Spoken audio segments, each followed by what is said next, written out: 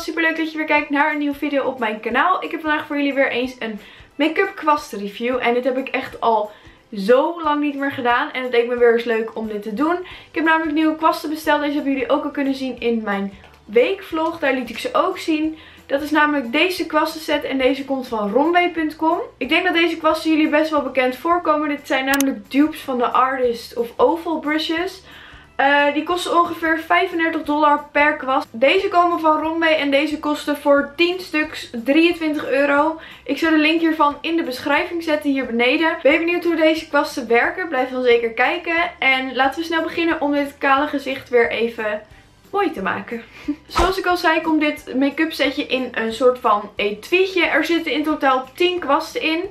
En het kwastensetje kost 23,75 euro. Eén echte oval brush kost 35 dollar en meer. En voor zo'n set betaal je dus ongeveer 300 euro.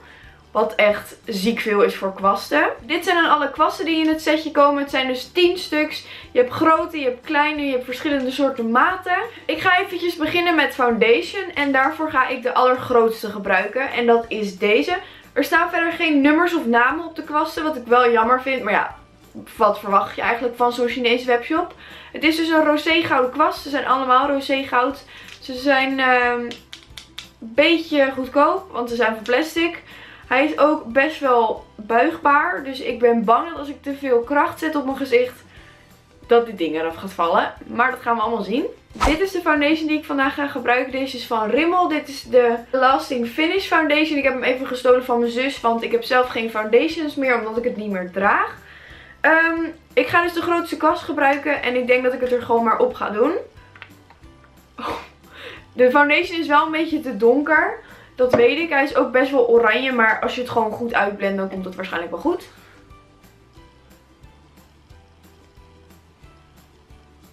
Woe!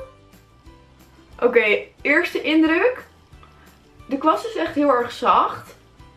Er blijft best wel veel product in de kwast hangen. Het gebied rondom je ogen, dat is misschien wat moeilijker te bereiken. Maar ja, dat gaan we straks doen met een klein kwastje voor de concealer. Het voelt zo raar om dit aan te brengen. Het is net alsof ik mijn gezicht aan het poetsen ben of zo. Dit ding zit zo los. Ik ben echt bang dat dit zeg maar gaat breken of zo. Nou, de foundation zit erop. Ik heb wel een beetje het idee dat mijn foundation veel minder dekkend is dan normaal. Um, dit is hoe de kwast eruit ziet. Er zijn een paar haartjes uitgevallen. Maar dat vind ik niet heel erg, want het is natuurlijk de eerste keer dat ik hem gebruik. Maar verder ziet de kwast er nog best wel schoon uit, wat best wel raar is. Hij absorbeerde wel echt super veel product. Ik heb twee pompjes aangebracht. Het was wel genoeg. Maar ja, de dekking is iets minder. Kan ook mooi zijn inderdaad als je dus geen foundation draagt, net als ik. Ik vind het best wel fijn aanbrengen. Hij is een beetje wiebelig, omdat het ding dus best wel los zit. Maar ja, dat is te verhelpen als je je vinger achter doet met het aanbrengen. Uh, ik moet denk ik even wennen, want ik ben natuurlijk mijn beauty blender gewend. Maar ja, een kwast zoals dit vind ik eigenlijk best wel fijn werken. Dan is het tijd voor concealer. Ik ga vandaag de MAC Pro Longwear Concealer gebruiken in de kleur MC15. En daarvoor ga ik deze kwast gebruiken. Deze is wat kleiner. Dit is echt gewoon net een tandenborstel. Hij ziet er wel heel erg zacht uit ben heel erg benieuwd. Al die haren staan zo dicht op elkaar. Het ziet er echt super fascinerend uit. Als je het heen en weer beweegt. Net als bij deze doe ik ook een beetje concealer op de kwast. Ik kan het natuurlijk ook eerst op mijn hand doen. Maar ik uh, ben benieuwd hoe dit werkt.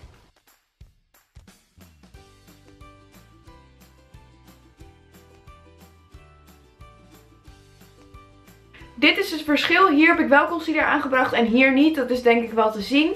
Het brengt best wel fijn aan, maar inblenden gaat wat moeilijker. Omdat je zeg maar het product best wel veegt of ja, wegschuift. Dus daarom vind ik dit met een beauty blender veel fijner om aan te brengen. Maar ik moet zeggen, het ziet er best wel dekkend uit. Ik zal even het andere oog doen en dan ben ik zo meteen met jullie terug. Onderogen zijn gedaan. Ze zijn echt super super dekkend. Ik had wel twee pompjes nodig op de kwast zelf. Normaal heb ik als ik deze concealer gebruik heb ik maar één pompje nodig voor allebei mijn ogen. Dus ja, je hebt wel iets meer product nodig. Ik ga het even blenden met de foundation kwast. Want die kleurovergang, dat kan echt niet volgens mij. Ik lijk ook net een spook als ik zo in de viewfinder kijk. Dus uh, daar moet ook weer wat aan gedaan worden. Voordat ik wat kleur in mijn gezicht ga aanbrengen, ga ik eerst nog even mijn wenkbrauwen tekenen. En dat is eigenlijk een van de belangrijkste onderdelen in mijn gezicht. Wimpers zijn ook echt heel erg belangrijk, maar die heb ik al gedaan. Ik ga mijn wenkbrauwen bijtekenen met het Catrice setje, as always. En daarvoor ga ik dit hele kleine kwastje gebruiken. Dit is een heel schattig klein kwastje. Hij heeft best wel rechte haren. Hij is niet heel erg stevig. Het is best wel een slap kwastje. Dus ik ben benieuwd hoe dit voor mijn wenkbrauwen werkt. Als ik mijn wenkbrauwen bijteken wil ik eigenlijk het liefst een stijf kwastje. Zodat ik strak kan tekenen. Dus ik ben echt heel erg benieuwd hoe dit gaat werken. Ik ga in de lichtste kleur. En een beetje in het donkere. Er vliegt hier een vlieg en het is irritant. Oké, let's do this. Ik begin aan de buitenkant. Wow. Die vlieg, zie je het? Huh? Dit werkt echt pittig goed.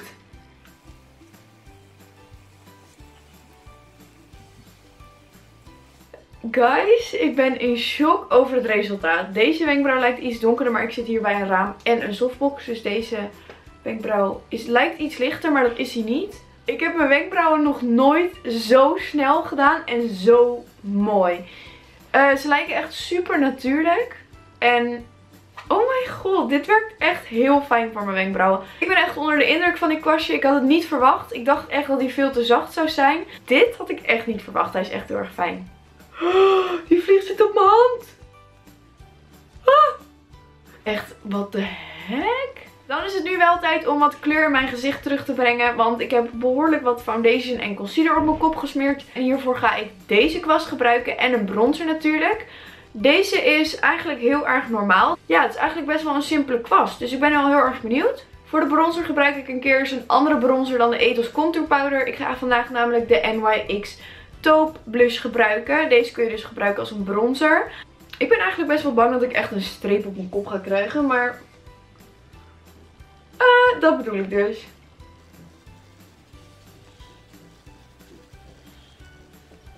Deze blush is net even iets te gepigmenteerd voor dit soort type kwasten. Omdat deze haren best wel dicht op elkaar staan, pakt hij best wel veel producten op. Dus ik ga even een andere, warmere bronzer pakken, zodat ik dit even kan afmaken. Ik ga nu de W7 Hollywood Bronze Glow Powder palet gebruiken. En daarvoor ga ik ook gewoon even een grotere kwast gebruiken, want anders kan het echt niet. Uh, ik ga deze gebruiken. Dit is gewoon even een tikje groter. En dan ga ik in de bronzer. Ik ga er iets boven, zodat die koele kleur net even wat wordt geneutraliseerd, zeg maar. Oh. Holy shit, er zit nu echt een streep op mijn kop. Dit is niet de bedoeling.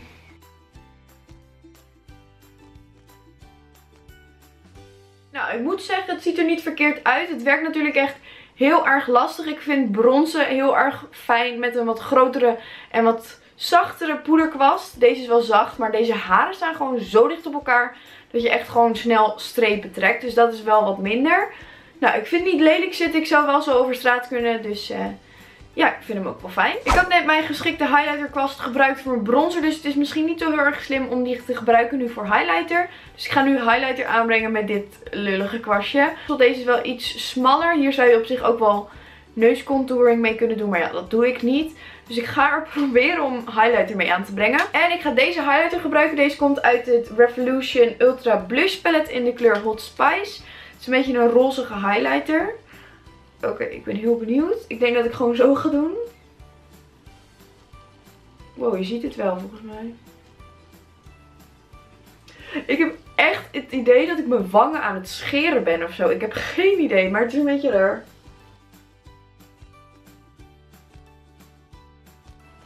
Wow, ik heb echt het idee dat die camera het niet goed oppakt.